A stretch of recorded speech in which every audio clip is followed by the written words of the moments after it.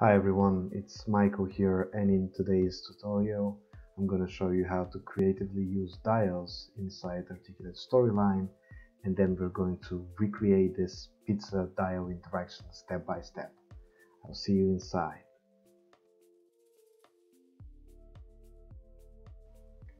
Alright, we're here in Articulate Storyline and we're about to recreate this cool pizza dial interaction. Now you know how dials work.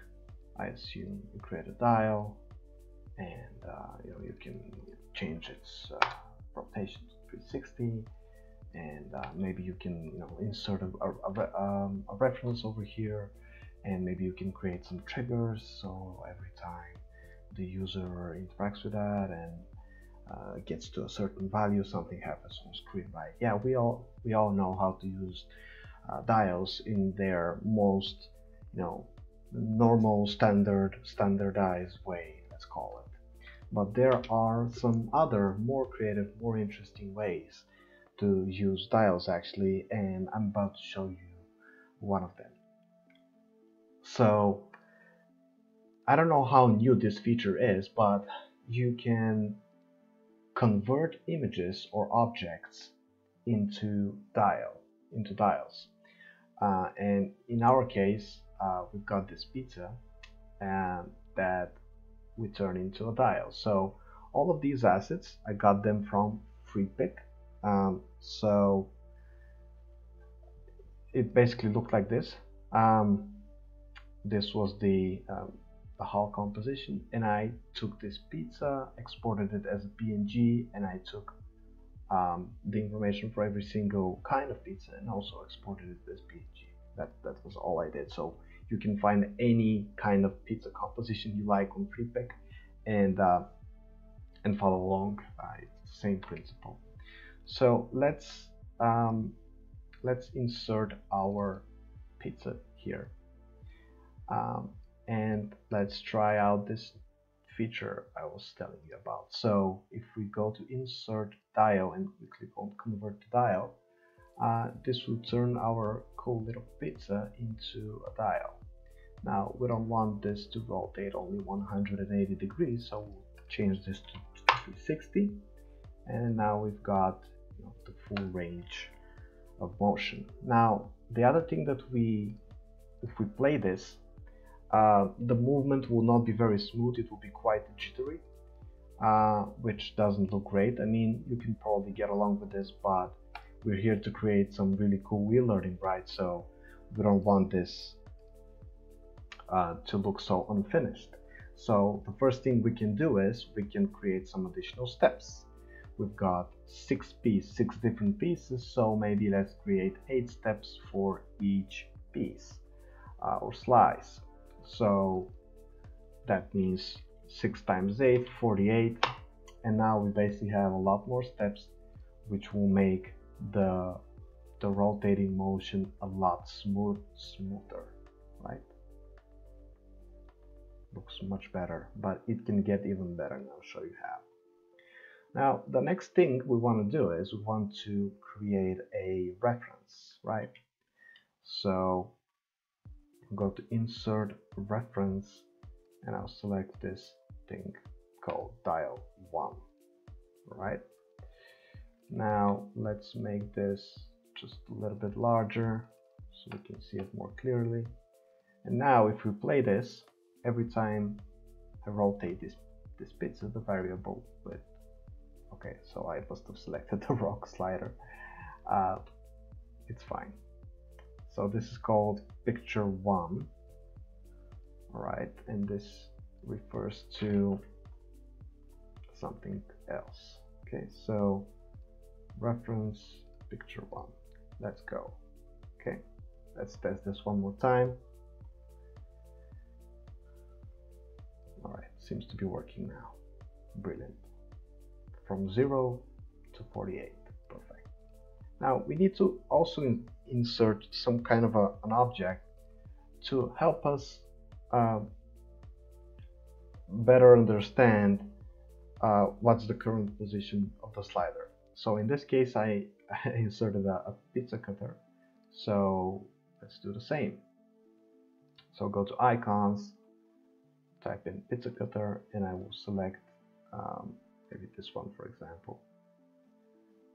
Next thing we want to do, we want to move it away from this. We want to rotate it about about so it's yeah so it's facing um, this way and we also want to center it well we don't want to put it in the middle we just want to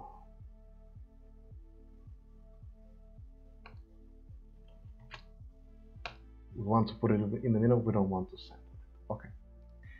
Now let's move this closer and this will be our reference point. Okay?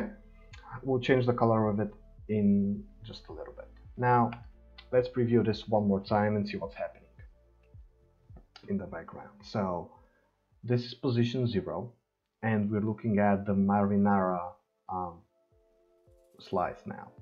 So from zero until uh, from 0 to 8 this is the whole range of steps that will basically um, represent this slice of pizza.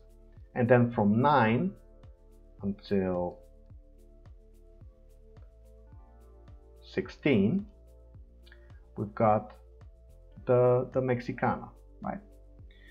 So what we want to do now is we want to change the settings here and we want this to start at zero okay? And okay that's perfect. Okay next we want to change the background um, and I will use the same color that I used in the original slide. Okay and let's also change the color of this icon. Maybe let's just yeah let's just make it white whatever. Or or we can use a color from the pizza itself you know to make it more. There we go. This looks nice. Okay so basically here's how it works. We will create a new layer and we'll call it marinara. And what we want to happen now is we want to insert a picture which is the information about the marinara which is this thing over here and we want to position it nicely maybe right right about here. Okay. And we also want to add um, a nice little animation maybe a fly in from left. And now we have to make it work. So we'll create a new trigger and we'll call it I'm not going to call it anything so show layer marinara when the dial turns picture 1 if its value is between 0 and 8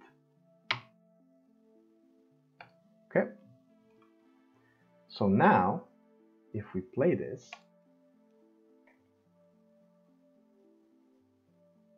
okay if we play this see what happens as soon as I moved the pizza or the dial our marinara layer showed up because it's in the range of 0 to 8 as soon as I move it to 9 it will disappear. Or it didn't for some reason.